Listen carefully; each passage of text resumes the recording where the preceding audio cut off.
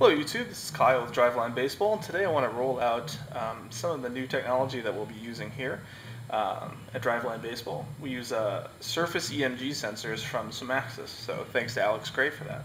Uh, not a lot of baseball facilities out there use advanced technology like we do, such as three-dimensional biomechanical video analysis, planar video biomechanical analysis, um, high-speed video for basic checkups, different types of weighted ball training, um, you know, different types of muscle sensor testing, uh, functional movement screening, as well as now surface EMG testing, um, which is super exciting to us because it really measures the actual activity that's going on below the skin. Um, so much of biomechanical video analysis is discussing um, what is happening or you know what you're seeing rather than the kinesiology of it, which is the actual activity.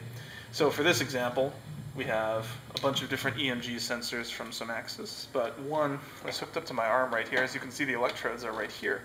Um, in an athletic environment, we would use paper tape or possibly different electrodes that are a little more durable. But for this, you can see that we're measuring pronator flexor mass um, activity. Uh, the pronator flexor mass is extremely important in the pitch and delivery because it helps reduce valgus stress in the delivery, and developing medial forearm endurance and strength is very important for durability as well as velocity.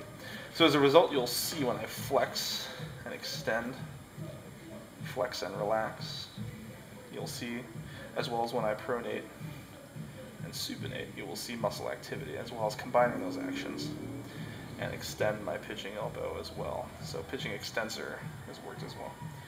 So using this with a bunch of different data analysis techniques you can use, such as Kalman filtering or other filtering or wideband passes to get more clean data. Um, you can actually evaluate training techniques as well as see if you are fatigued or other different types of methods.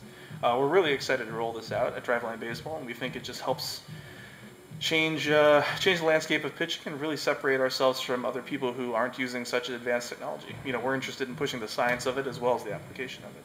So, that in mind, always think about training here at Seattle um, in our new facility in Puyallup, and go to drivelinebaseball.com or email me Kyle at drivelinebaseball.com to set up a consultation. Thanks for checking it out.